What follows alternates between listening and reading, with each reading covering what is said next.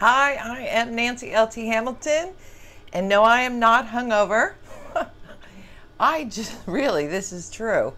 I'm so lazy, I didn't want to put on eye makeup. Go figure. I had a hard day yesterday, worked really hard at Chimera, and I'm still recovering. So please bear with me. I, I put lipstick and, and my little face makeup on, but that's all I could handle. anyway, it's a good way to start this very strange and unusual video because this video is just like my brain threw up. Uh, there's all these random things that really have no relationship to one another except for the fact that they are for jewelry making. And uh, there's some tips and tricks and, well, let me actually have a list. Let me read that for you if I can see it with sunglasses on. Um, we're going to start with dealing with that copper buildup that happens sometimes when you heat.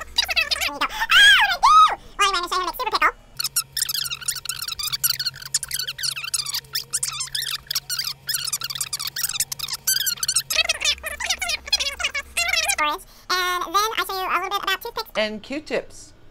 So it's just totally random, just totally random.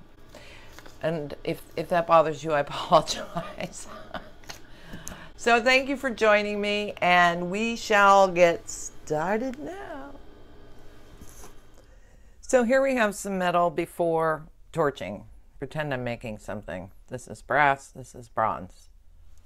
I'll meet you in a second. Remember these guys? Brass, bronze. This is after pickling and after brass brushing. And you're thinking to yourself, oh my God, what happened to my work? Well, don't panic. It's just copper that's wiggled its way up to the surface, and it's nothing that's Super Pickle can't fix. So I'm going to show you how to make some Super Pickle with a turkey baster.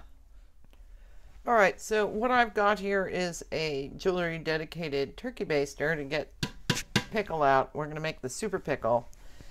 And this I found is the best way to do it. So oh, I'm going to fill part of it. I don't need more than that. Hot pickle. You want hot. Put this into your um, baking soda mixture and squeeze it out and then rinse it.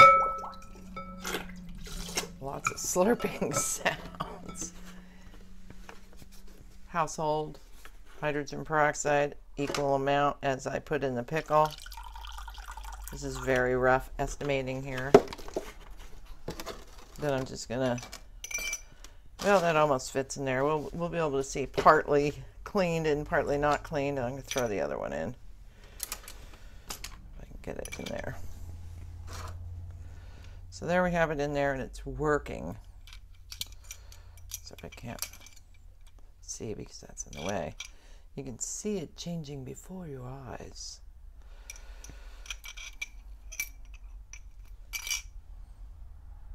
So if you leave this in a while, you end up with a matte finish on it, which is pretty on the bronze. I like it on, on that. Um, but you don't have to. And I don't know, I probably could leave that a little longer. So here's our clean brass, clean-ish brass that I put in the baking soda mix and then threw it into the rinse bowl. You can see this um, bubbling in there. That's all the copper being eaten off. So what you can do, what you do afterwards is let this sit overnight covered away from your creatures and yourself and your family and then pour it back into your pickle because the hydrogen peroxide turns to water and uh, you've just got a slightly diluted pickle. So it's all win. It's a win-win. I think I'll come back to you when this is clean. It's taking a little longer. Oh, one more thing. Um, this also occurs on sterling silver because it contains copper. So sometimes you'll solder and pull your piece out and see the copper surface. So that can be cleaned with this method or with sanding. It's just easier to dunk something in. Just remember that if you leave it in too long, it will etch somewhat. So here is our bronze. it's a little gunky looking, but I bet this would clean up pretty quickly with brass brush. If you don't have a brass brush, get a brass brush. You want not one that looks like this is what happens when they get old, um, but you want the really soft, tons and tons of little teeth, or what others are called, hair brush hairs. I have no idea. Every time I solder, I hit it with the brass brush because usually with copper products, that it tends to leave a little film on the top, and with fine silver, you'll see that the silver turns white and you can just brass brush that off. Don't panic. It's all right. I'm testing out the spiders, I think that's what it's called, soldering tool. And I just took this piece of um, silver, stuck it in a, vertical position, kind of balance the leg of the spider on top of this. Um, one thing I want to say about this, I wish it was a little smaller. It's kind of worrisome that it's going to fall off the edge of my block, and I have a big block. Um, but anyway, I've already heated up my flux on here, and I'm just going to, we're just going to solder with it. Because that's what we do. I'm just going to put one there. This is not a piece of jewelry, by the way. It's a test piece.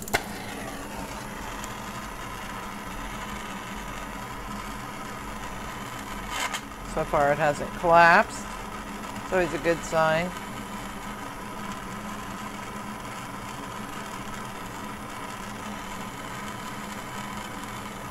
Alright, flow. So um, that's that's that part of the test.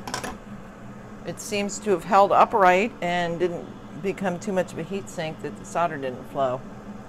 So, yay. Okay, we have Mr. Spider out again, but I'm not talking about its use, and hopefully it's not going to fall down on me. Um, what I, I, if you can see, there's a pattern on this material, and I don't want solder to flow into it.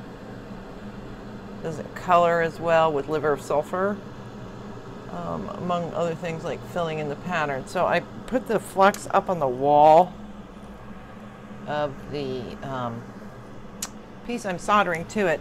And then I'm going to pull out my yellow ochre, which if you buy a can, it'll probably last you a lifetime. You really need so little. I just let it dry up in a, this little container and then just spritz a little water. And then you want to paint yellow ochre up to the area. It's hard to get in here with you. Ha, shoot. I just got it in the seam. So I'm just going to go ahead with the demo anyway. I'm hoping it doesn't wend its way down the road there. Don't get it in the seam. That's my tip. So I'm going to heat this mess up. Hopefully the flux will counteract the effect of the ochre. I can put my solder on.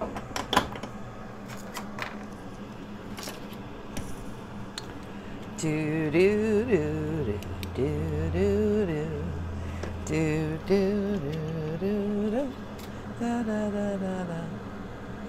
Come on. Okay. Now for the big the big moment you've all been waiting for, watching me obliterate the piece with the torch.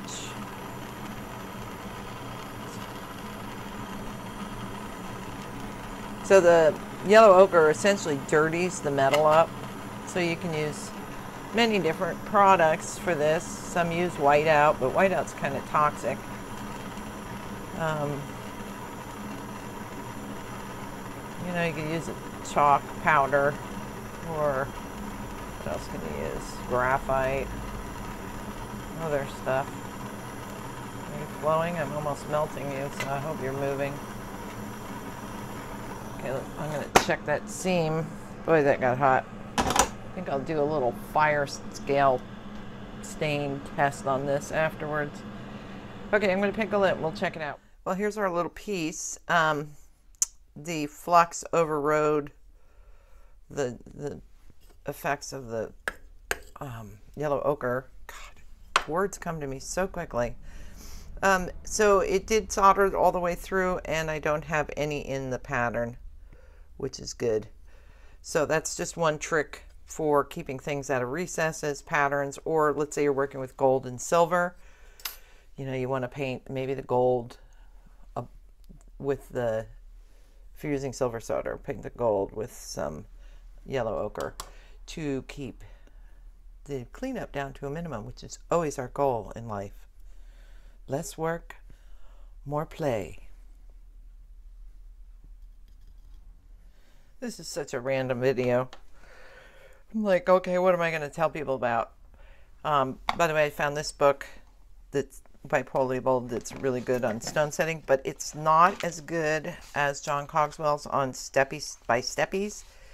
But it does show you a lot of tons of different settings. And if you are uh, an experienced jeweler, you can tell by looking at some of the drawings how these things were put together. You know, this kind of stuff.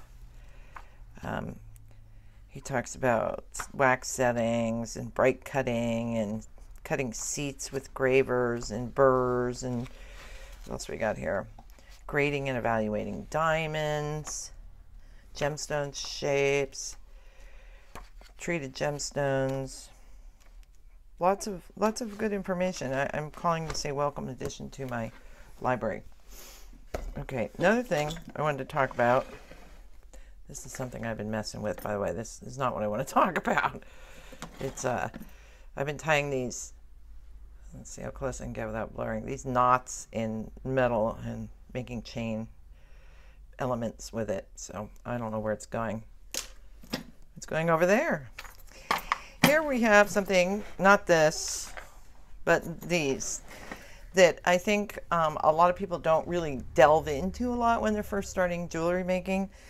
And I'll tell you, um, in the latter years of my making story, um, I've really become a file hoe, to, to put it officially.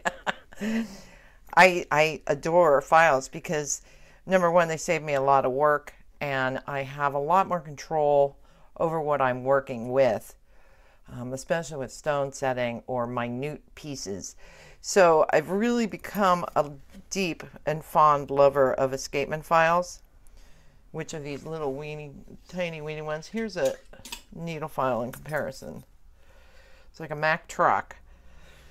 Um, so I rarely use my needle files anymore, except, you know, for ring shank finishing or something. But these I use for all my details. Um, and I make, I really need a couple more. I, I want a four square. This is a three square here. Um, but I, I like them in a five, and these are my eights over here. Really fine, fine files. So, um, you know, as, as you start moving on in your career, just realize that maybe one of the things you're missing to help you create more pristine, better executed work is to get yourself some escapement files. I know Rio Grande sells them and Otto Frei sells them. So uh, happy shopping. So I don't typically like to bash anything. Um, figure there's enough nastiness in the world without me adding. But sometimes I encounter a product that I just don't understand um, I even forgot what these are called. Where's my dang paperwork? Oh, sorry. These are called cylinder anticlastic 1 by 1 8 by 6 16th channel. Now, I, don't know if I'm just an idiot, which is pretty true most of the time, but all this does that I can see on and on this metal, which is I don't even know what gauge it is. Let us check that out. Notice I'm speaking in Old English today. That's because I'm old today. I was at Chimera all day yesterday and just not happy. This is 18 gauge. And um, this is all I could do. So I found a piece of, this is almost like foil. What the heck? This is probably close to 30 Do do. Here we go with the do do do do again. Yep. 30. By the way, for those of you who don't know how to work a B&S gauge, first slot it doesn't fit into. Wait, maybe this is 28. Maybe I was no, it fits in 28. Is um, the size, the gauge of the metal. So 30. Um, anyway, so I'm going to try these on the 30. Now, I thought because this is circular that the metal would curl around. So maybe it'll work for, but it's still not curling around. Definitely works better on this thin annealed metal. But, you know, it makes a rim, but it makes all these lumps. Now, you might want that for decorative element. I don't. I can make these dents with a punch on a piece of wood and a hammer. Then I found these, and I'm not bitching about these because um, I think these have great potential. Um, these are heavy duty electrical doodling, you know, for cutting and stripping wire. But look at the pattern in there. That's pretty cool. So what I'm going to do is I'm going to grind down these teeth. And just with this part here, I've been able to make these ridges on here. Let's see how it looks on 30 gauge. I think if I file some of the teeth down, I'll have a nice ridge forming tool. There is some, some marring there, so I'm going to also round and smooth those edges so I don't get this. But this makes a channel, which is what I, I was looking for with the other ones. Um, and I'm hoping once I get rid of this point here that I'll be able to mix tiny channels by putting it in this area. Right now this this the this cutting part is getting in my way. Okay, another tool I'm going to bash. This is, remember, this is not a bash. This is an idea waiting to be happening. Um, this, oh my God, I was so excited about it. I posted on Facebook. I ordered one from China. And what it does is I have a, a quick change release handpiece. Wait, I'm to go get it. Ah, hold on. Don't go away. There it is. And the way that you use it is you squeeze this and it opens the jaws inside. So this just fit in here. So what this means is that I could use all different size burrs and bits in here without having to switch the handpiece to my traditional Foredom that you have to use a key with. So I was so excited, except for when I when I turned this on and it spun in an arc. And um, those of you who know this, when you turn on a flex shaft and your tool is spinning in an arc, it's not in there right. And this is just, there's something that is not square on here. So sadly, I need to bash this. I wanted it to work. Maybe I can find some kind of engineering genius to fix it for me, but I have a feeling that the the threading is off on the interior. It is not a finely machined tool. If anybody out there wants to make one, I would be ever so grateful. Um, and I think that's that for this part. My brain is going to be thinking of other tips and things. This is I'm going to call this the weird video. So since I bashed the tool, I should speak highly of tools. Um, I will put the link to this Chasing a Repoussé hammer, which is a gorgeous, feels so good in your hand, really heavy head, feels like nothing. Perfect spring, boom, boom, boom and these, my favorite cutters. Max, Power Max, I think they're called on Rio. They're called, Keiba makes them in their Power Up series. And they're saying, what is the Max saying? 2.3 soft wire. I don't know, they cut pretty good, they cut pretty thick wire. Flush cut on one side and that V-shaped cut on this side. But I love these. So I thought I'd have to balance the universe out because I get nervous. I do. So here's another trick. I love my little um, brushes that I make out of toothpicks.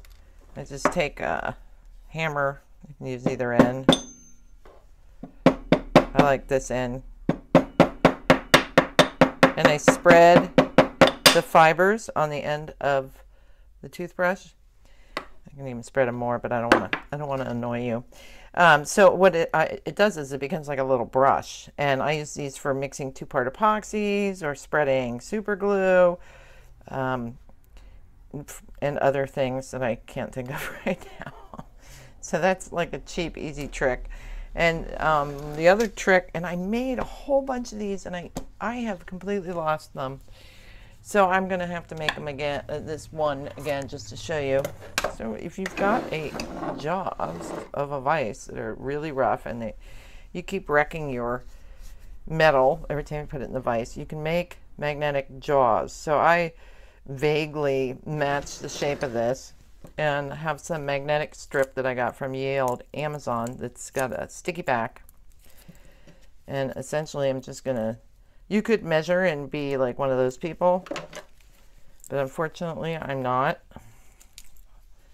So I'm just going to cut this to approximate size. And then um, it's a little curly in the beginning, but what I did was I, I put it on here and made sure I pressed it down really firmly. You, you want to go with a thicker leather. The suede is not perfect. Um, I like more of the cowhide. It's got a harder surface. But what I do is then I put it into, let me just knock everything on the floor. Let's imagine there's two a, a pair in here. And I just tighten down my vise and hold it. Okay, get in there. Squeeze it tight and just let it sit for you know, a couple hours. I think that just, uh, this pressure on it will just help the glue adhere more evenly.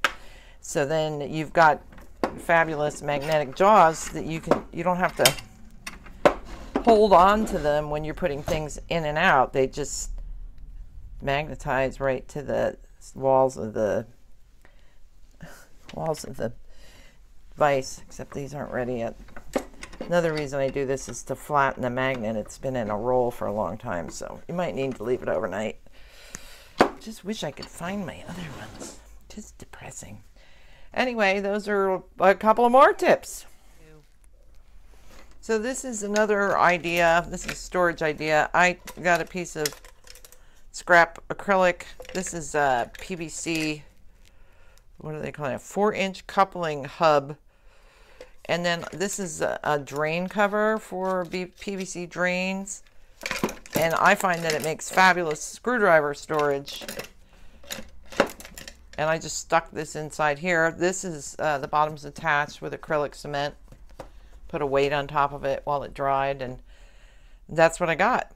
So that's that's a great way to store screwdrivers and other, you probably could do files in here. The only thing with that would be that they're rubbing on each other and that's not good for the teeth. So I'm sure there's other uses. I just call it my screwdriver storage. I do. While we're talking about storage, I might as well talk about my hammer holder. I, I love these. This is like a garage door organizer made by, who is that? Unger? Unger. And what I like is number one, it's got these rubber necks on here so it won't mar any of the wood and you just push it in and it locks them wherever. Do it up here if I wanted to. And they're easy to get in and out. There isn't a ton of pressure like some of the hooks that I've tried for holding hammers. And they're right behind my bench, so I just spin around like a ballerina and take them unawares. So what we are looking at here is my big girl vice. And you know, if you put a tool like this forming tool in a vise and you hammer on this end, what ends up happening is you end up with it like this. So I made little holders out of pretty thick brass um, and just shaped, um, these were basically bent around, but you can use a um, ring mandrel to shape them and then just bend the ends over like that and they slip in here. Um, you might want to make different size ones for different tools. Like on a ring mandrel, generally you're going to have one that's larger than the other because this is a cone. So you fit the end in one end and then the smaller piece would go in the front and tighten down. And this will keep the mandrel from, I mean, it's still, it's not perfect, but it's still, it makes it a ton better than not having any support in here. Oh my God, look what I found. my Vice jaw covers. it's amazing what you can find. Look, I'll just have to show them to you now. Look at that. Isn't that beautiful? Just absolutely stunning. so we're going to swing you literally over to here because I want to talk about this. Actually, I'm going to take you out of the holder and handhold you. This is a pipe vise, and some people already have heard me proclaim the wonders of this tool. Um, but I use this for bracelet mandrels, bezel mandrels, ring mandrels, um, my clastic and anti-clastic forming tools. Um, and I think this cost me $35. So I love this. I love this. I love this. And while we're over here, I'll show you another little tippy I did. Um, honestly, I don't remember what this handle is from. Maybe an old file. I put a little hook on the end of it and drilled it out and cut the um, cross pieces of my chuck key off and stuck it in here uh, with some uh, two-part epoxy. And now what I can do is I have a little hook that I hang this on so I always know where it is. Actually, I'm not using it right now because it's supposed to be over there and it's not. Um, so those are a couple more tips. I'm just full of it, aren't I?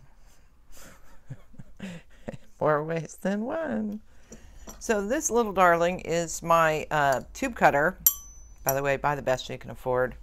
What's important on these is this little space in here. It needs to be thin enough, thin enough that it doesn't, the blade doesn't wiggle while you're sawing. It helps to keep straighter cuts. And you can also, don't forget to use this to mark how wide your tubing is going to, long your tubing is going to be, because then you can cut multiples at the same length, which comes in handy for chain making or if you're doing a bunch of hinges.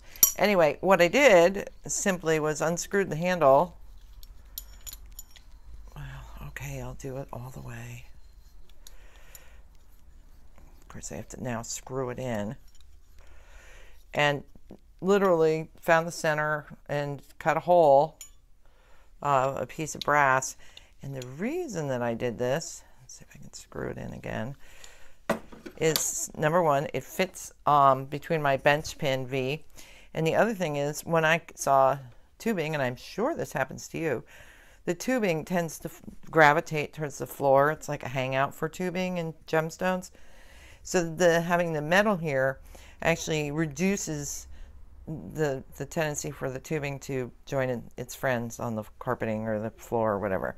I actually think I need to make this even bigger so that I have a larger table for it to not fall on the floor with. So I think I'm about tipped out for the day. Um, I just saw one thing that might be interesting. I don't know, but let me look. This little guy. Now this this is, kind of looks like poop. it, this is polymer clay, and um, this is a long needle in here. This is a tool I used for metal clay work, but I've also done this, and I don't know where they are right now, um, with scribes and um, other things like if you want to make a hand drill, you can put a drill bit in here.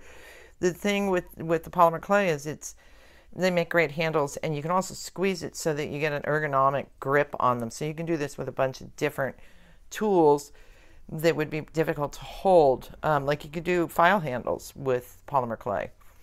Speaking of polymer clay, oh God, why do I do this to myself? Don't forget about as Nancy rummages around in her studio. Ah. Sorry.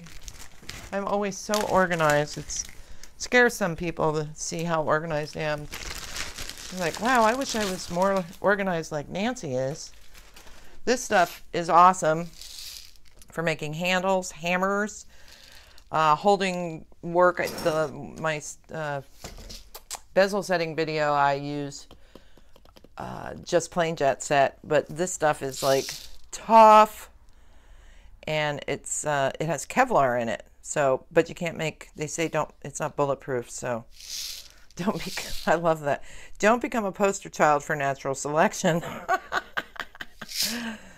And I know that I know there's some of you out there who would try to make a bulletproof vest out of this. But anyway, it's an awesome holding tool making thing.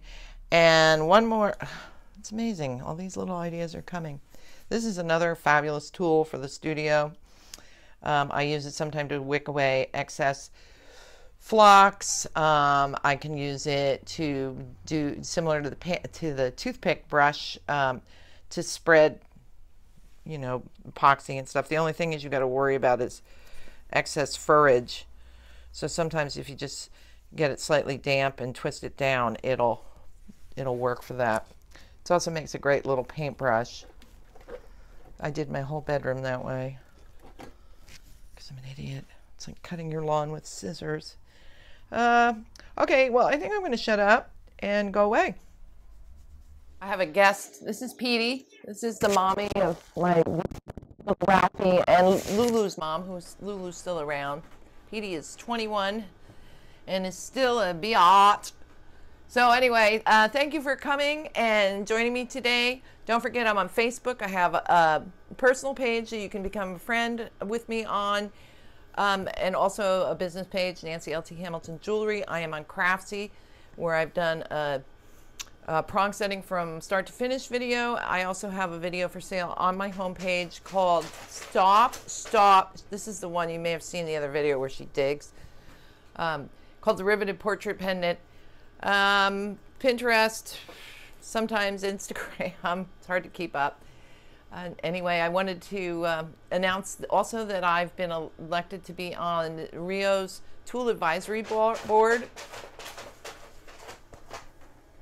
And I'm going to be flying to Albuquerque this month to, to meet with the group for the first time. So I'm really excited about that and really honored to be asked to do this. Um, obviously, it's right up my alley, being the having a tool problem and all. But anyway, thank you for coming. I really appreciate it. Don't forget to subscribe and like. It doesn't take a lot of effort, really. It, I've done it. I've liked videos. I've subscribed to other people. And uh, I'm going to go away now.